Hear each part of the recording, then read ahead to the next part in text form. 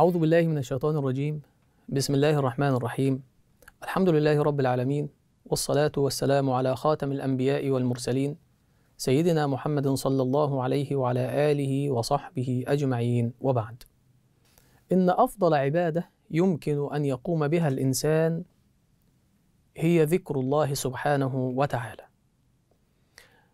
ذكر الله من العبادات التي لا يحصرها عدد ولا وقت ولا مكان.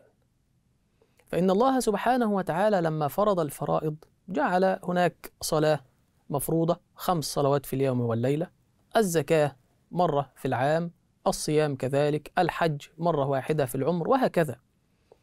إلا عبادة ذكر الله سبحانه وتعالى.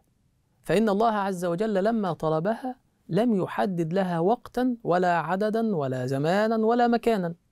فقال الله سبحانه وتعالى يا أيها الذين آمنوا اذكروا الله ذكرا كثيرا وسبحوه بكرة واصيلا.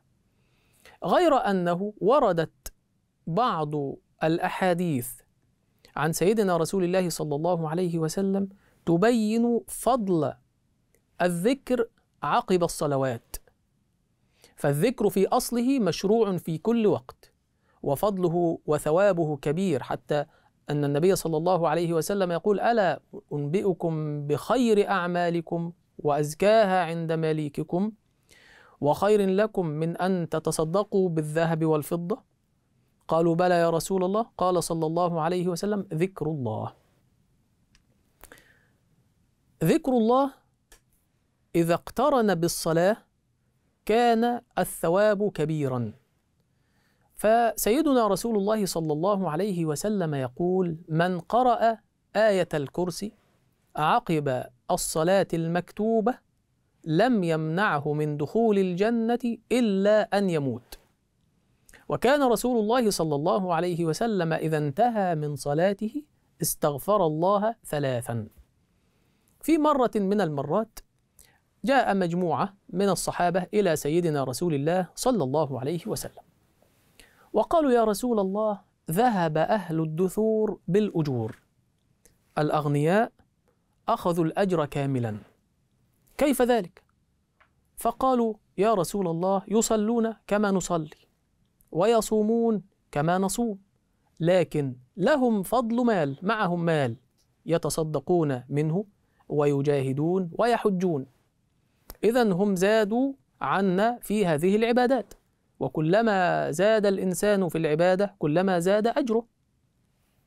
فسيدنا رسول الله صلى الله عليه وسلم الذي لا ينطق عن الهوى إن هو إلا وحي يوحى طمأنهم وطمأننا جميعا.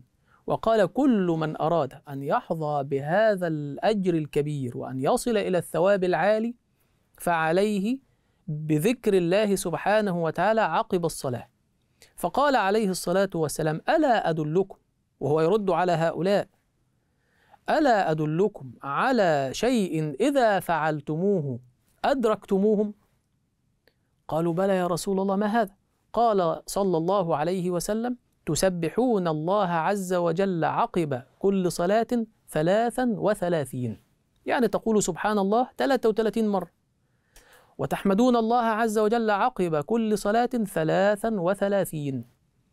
وتكبرون الله عز وجل ثلاثا وثلاثين. وهي الأذكار التي يعني نذكر ونختم بها الصلاة. سبحان الله 33 مرة الحمد لله 33 مرة الله أكبر 33 مرة ثم يختم الإنسان المئة بلا إله إلا الله وحده لا شريك له له الملك وله الحمد وهو على كل شيء قدير ولا حول ولا قوة إلا بالله العلي العظيم. أرشدهم النبي صلى الله عليه وسلم إلى هذا الذكر يقول راوي الحديث فمضوا عددا من الأيام ثم جاءوا مرة أخرى إلى رسول الله صلى الله عليه وسلم. قالوا يا رسول الله لقد سمعوا ما قلته لنا وهم أهل الدثور الأغنياء. سمعوا هذه أو هذا التوجيه وهذه البشارة ففعلوا مثل ما فعلنا. أيضا يتصدقون يجاهدون يحجون ويصلون ويصومون. ثم فعلوا هذه الأذكار. فقال النبي صلى الله عليه وسلم ذلك فضل الله يؤتيه من يشاء. الشاهد في هذه الرواية أن ذكر الله عقب الصلاة يحقق للإنسان منزلة كبيرة منزلة عالية. الله سبحانه وتعالى يقول فإذا قضيت الصلاة فانتشروا في الأرض وابتغوا من فضل الله واذكروا الله كثيرا. فإذا قضيتم الصلاة فاذكروا الله قياما وقعودا وعلى جنوبكم. إذا إن علينا أن نكثر من ذكر الله سبحانه وتعالى خاصة الأذكار بعد الصلاة فبها ترتفع درجة الإنسان وبها يرضى الله سبحانه وتعالى عن الإنسان.